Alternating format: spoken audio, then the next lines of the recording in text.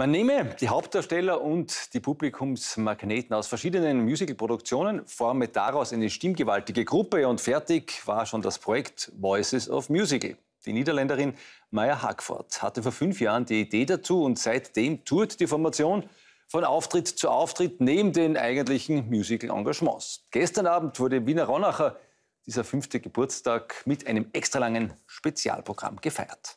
Meine hatte irrsinnig viele Konzerte gesehen und da stand immer dann auf den Postern die Stars von.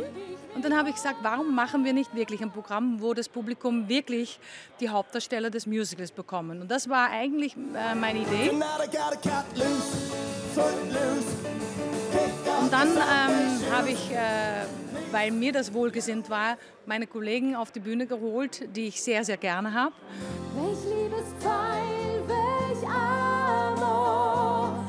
Dann habe ich gesagt, äh, wir machen ein besonderes Programm, nicht immer alle Nummern, die das Publikum schon kennt, aber die sollen mit ein neues Musical auch nach Hause gehen.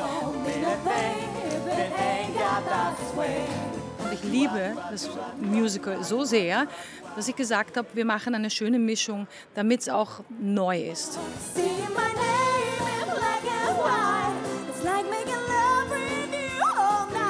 hat auch jeder seine Position, irgendwie so auch repertoiremäßig. Also es ist jetzt nicht so, dass Leute da sind, die total in, im Job dann auch Konkurrenten sind. Man ist immer ein bisschen Konkurrent und eigentlich gar nicht.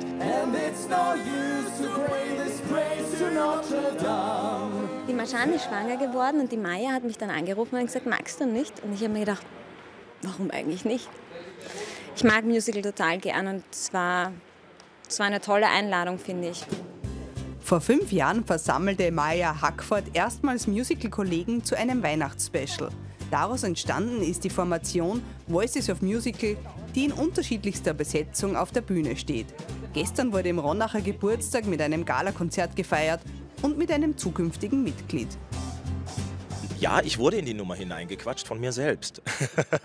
es ist ja so, dass ich ab nächstes Jahr bei den Four Voices dabei bin. Und äh, nachdem das Konzert in unserem Haus, in unserem momentan Don Camillo Haus stattfindet ähm, und es eben Montag ist und man frei hat, habe ich gesagt, weißt du was, Maja, äh, mach eine Vorankündigung. hoch am Himmelszelt. Ich brauche äh, einen ein Mann neben mir, weil ich doch eine größere Frau bin. Ähm, und ähm, wir verstehen uns echt super gut in Don Carmelo. Und somit geht Voices of Musical in die nächste Saison.